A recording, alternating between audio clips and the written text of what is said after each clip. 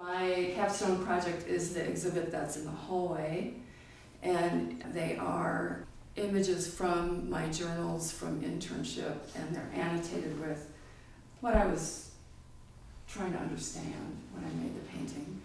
The images really are in two categories. One was the transformation that took place in me as I moved from working with clients around big systems issues, how organizations change over time and how people are affected by that, to this very intimate domain of um, counseling and therapy and what that brought up for me. So some of those images are that.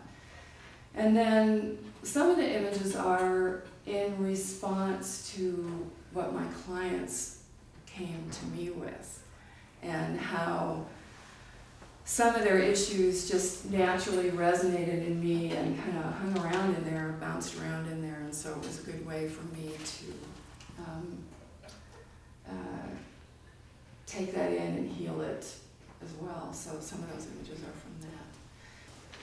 And then there was the work.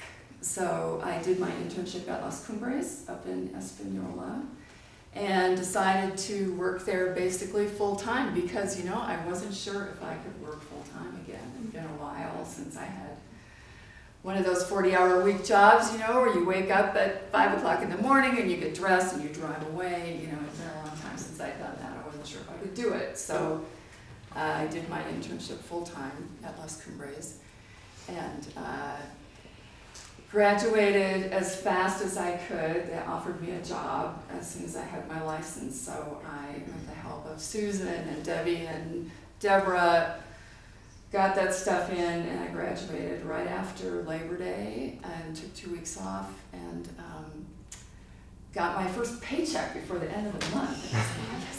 I, got, I came home with this tiny little paycheck. Oh, look, John. oh, so great, really satisfying. Um, I so my caseload. I work in a department at Las Cumbres that specializes in working with children under six who've experienced a lot of trauma. Uh, so I have 17 families that I work with there, work full time.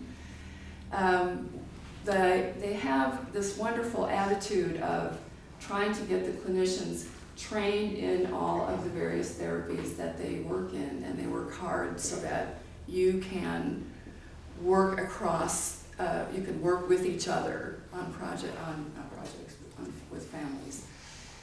So I kind of am in the middle of this postgraduate immersion um, training. I'm going to finish my dialectical behavioral 80 hour intensive next month and I just got trained in the Circle of Security Parenting. I'm a certified trainer. and uh, I'm going to get some play therapy next month and luckily I have the art therapy under my belt so they specialize in those four modalities.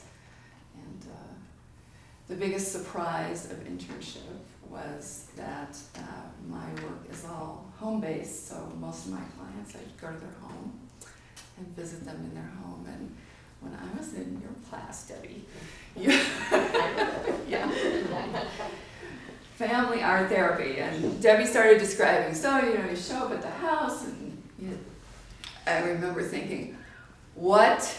No way am I going to do that? No way."